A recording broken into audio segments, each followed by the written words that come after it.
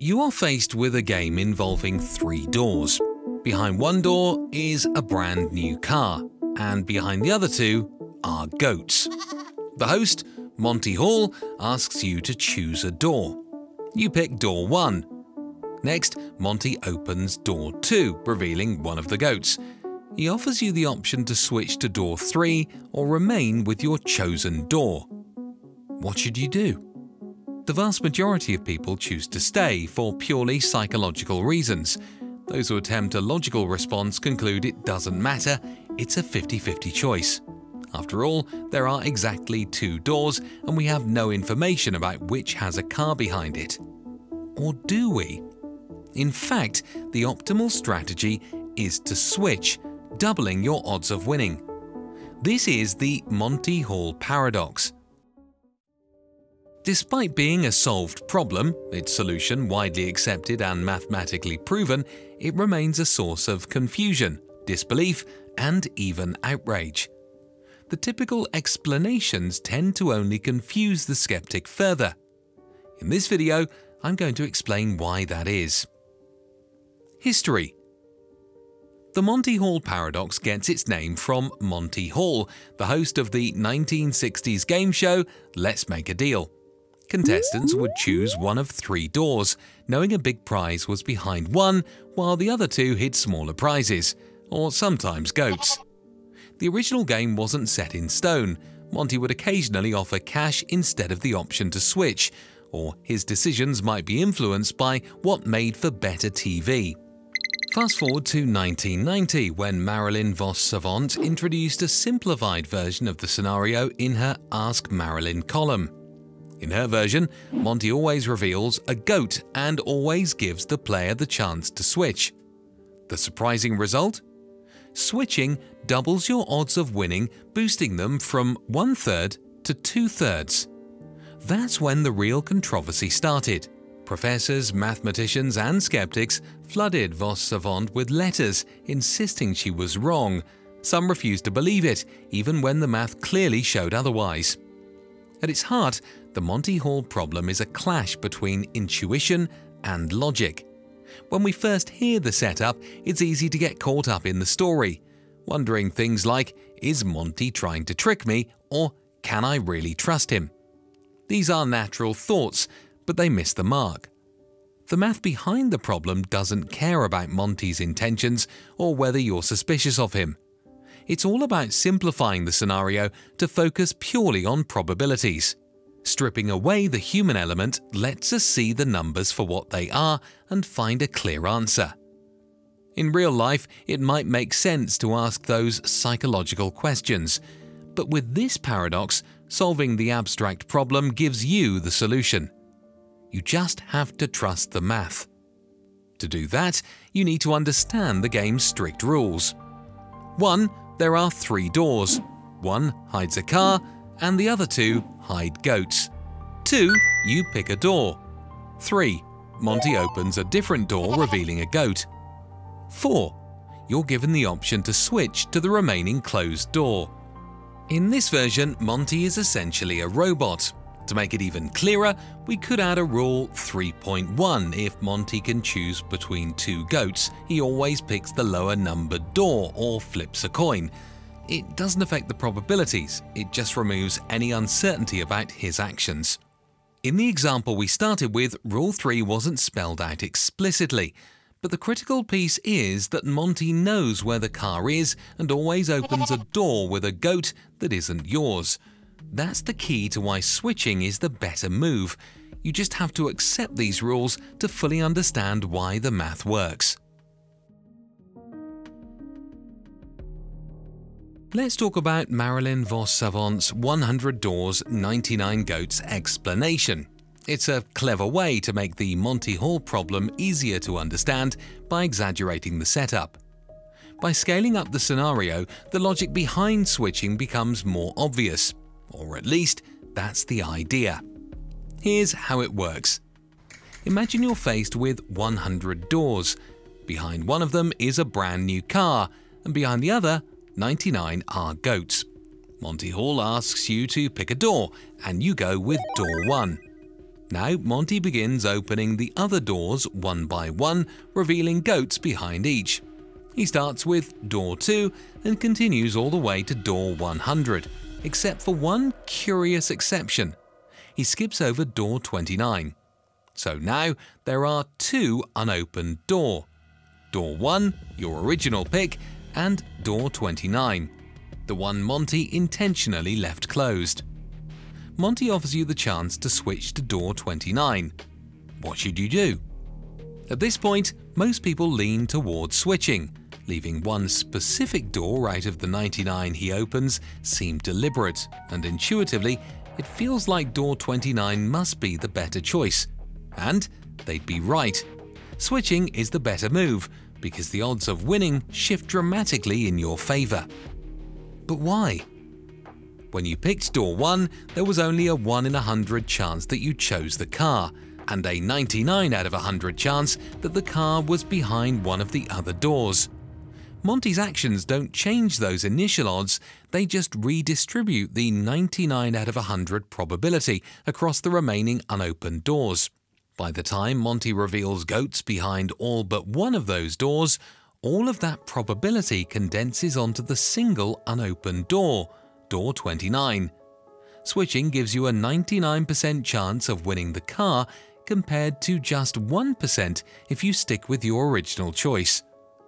But there's a big catch. This explanation, while powerful, isn't perfect. It relies on abstract thinking and the ability to generalize insights from one scenario to another. Scaling up to 100 doors makes the average of switching feel obvious, in this context. But it requires a mental leap to apply the same logic back to the original three-door problem. Here's why. In the 100 door example, the scale is so exaggerated that it's easy to focus on the specific numbers and the unusual setup.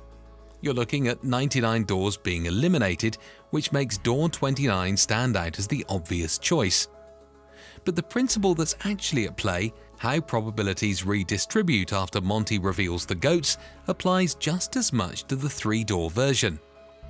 The challenge is helping people see that the math doesn't change, no matter how many doors you start with.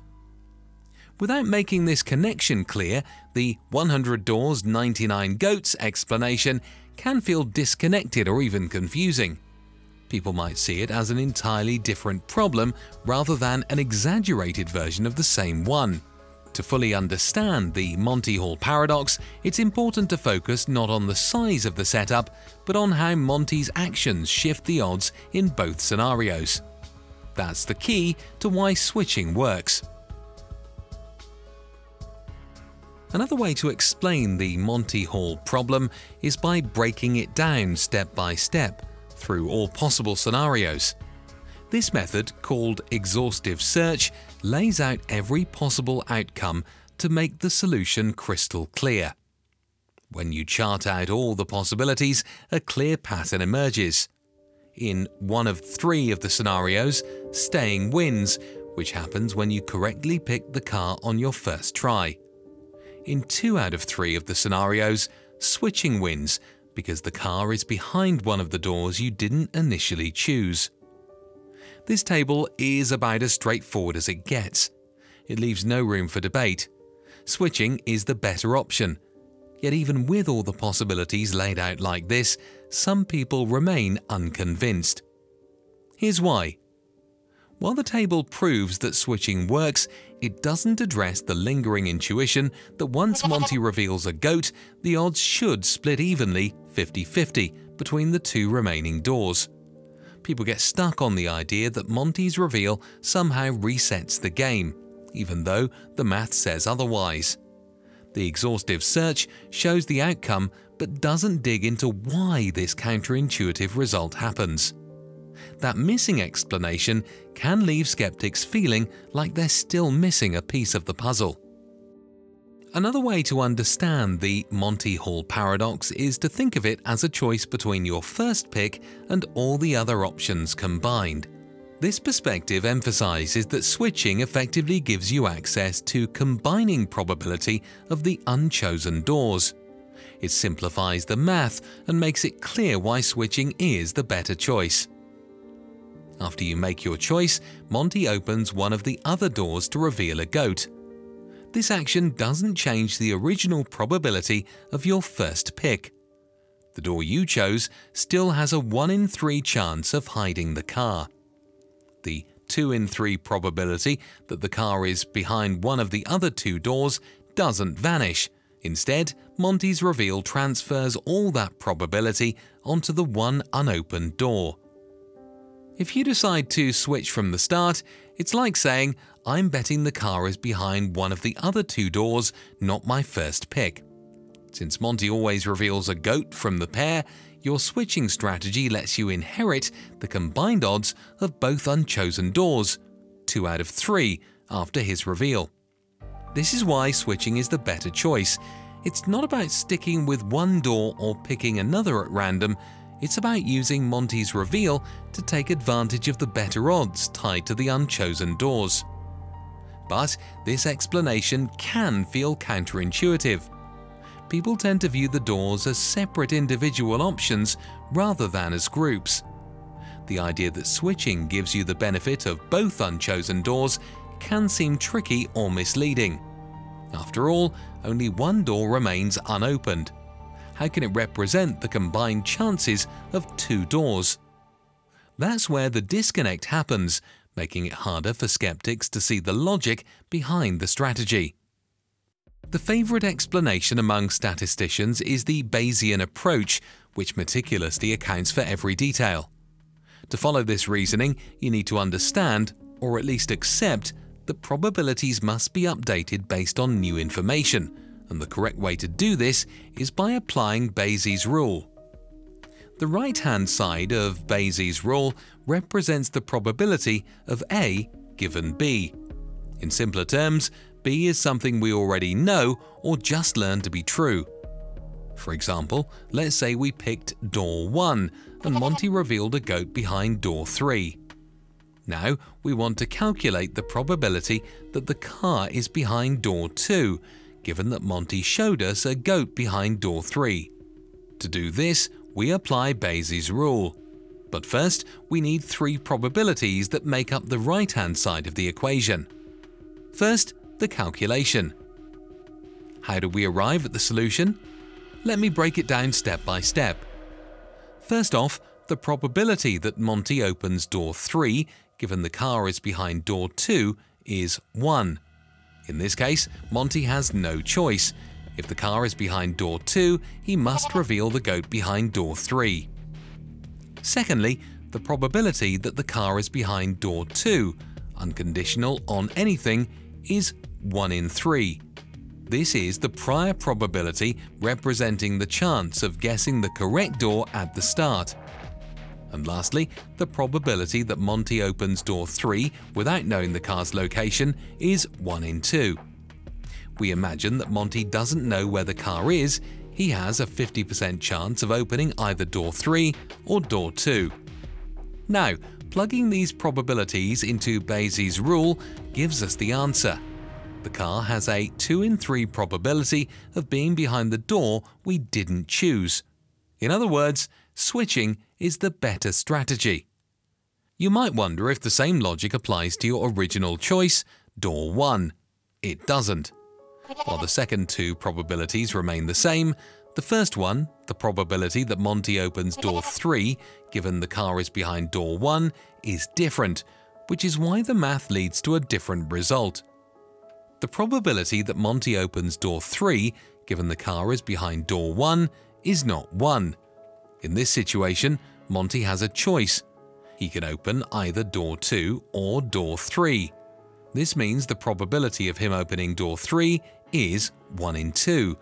Plugging this into the calculation confirms the car has a 1 in 3 chance of being behind your original choice. To truly understand this, it helps to walk through the process step by step at your own pace. Redoing the calculations yourself can make the logic much clearer if you do, you'll see for yourself how the numbers consistently reveal why switching gives you better odds.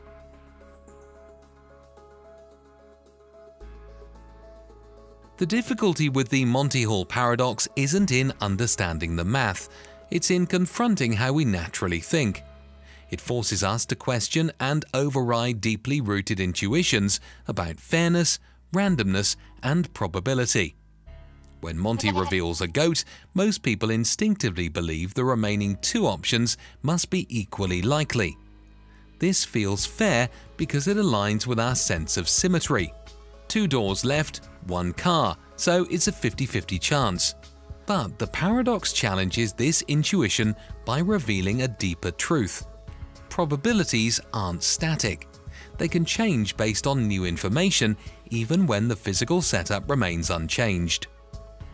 What makes this even harder to accept is that this shift in probabilities isn't immediately visible. Monty's reveal doesn't feel like it should affect the odds because he isn't adding or removing a car or a door. He's just showing us something we didn't know.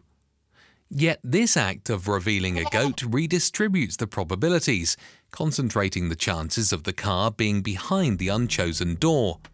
This subtle shift is deeply unintuitive because it's not how we naturally process randomness or fairness. We want to believe the remaining options are equal because that's what seems simple and fair.